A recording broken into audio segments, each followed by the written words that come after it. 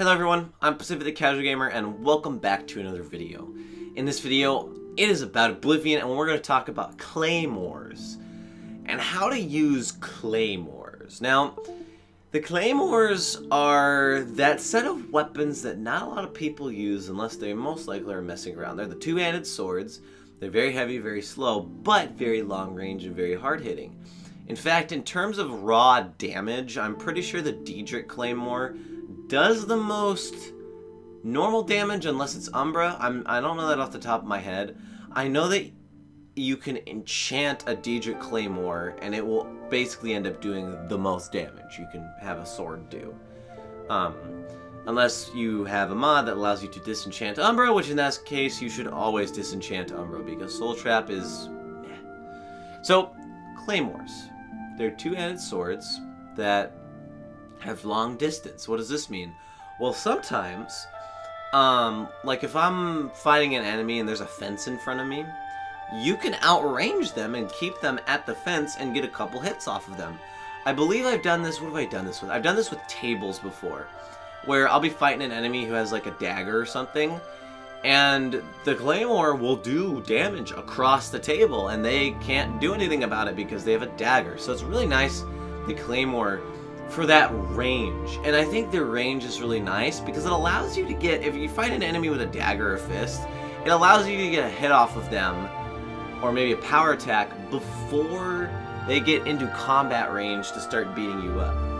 Now the Claymore, it's heavy, which means that, you know, you're not going to really be holding anything, but the Claymore's heaviness kind of is outweighed by the fact, and no pun intended, that you don't have to carry a shield so that weight goes away. So it's really just the claymore is the shield and the sword put together in weight. Now, claymores, you can block with them, yes.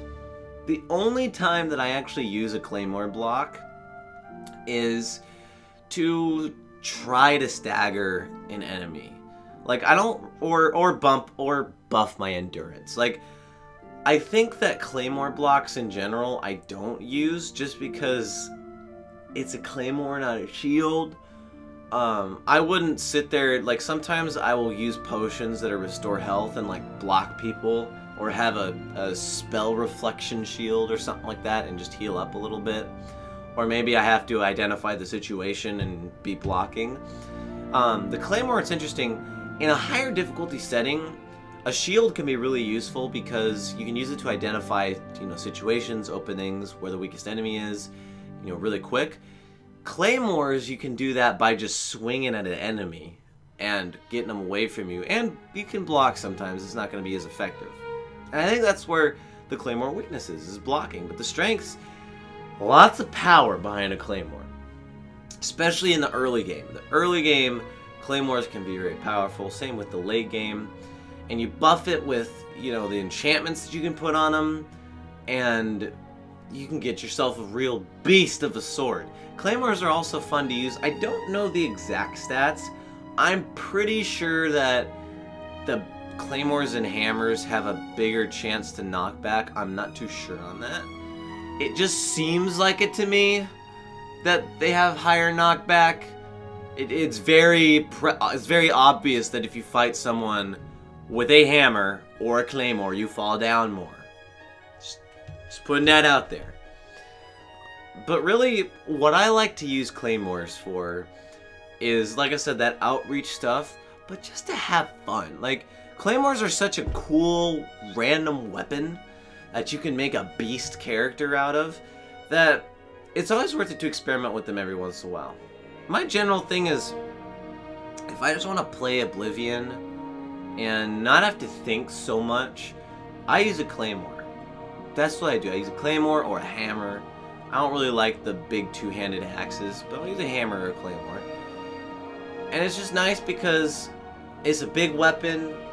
You have a long range of effect. Like I think the strength is a long range of effect. You can get hits off without getting into combat range, which outweighs the block. So if you if you um, use if you like the playstyle of go in, get a couple hits, and go out, Claymore is perfect for you because it's built with less blocking in mind and more of that going in, not getting hit, but hitting the enemy.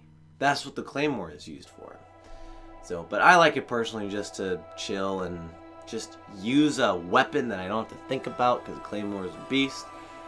And that's really it. Would I use this in a high level situation? No. I don't think Claymores are very good for high level situation because sometimes enemies just get really, really fast. They're scary.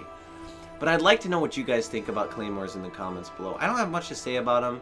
I think it's still worth it to talk about them because I feel like the two-handed weapons get gypped when it comes to Oblivion just because it's very obvious that using a weapon and a shield is infinitely better than a two-handed weapon. But it's still worth it to talk about the two-handed weapons. So let me know what you guys think in the comments below. I'm Pacific the Casual Gamer. I suck just as bad as you do at video games. I'll see you in the next episode, stream blog, or Steam post of whatever I decide to make.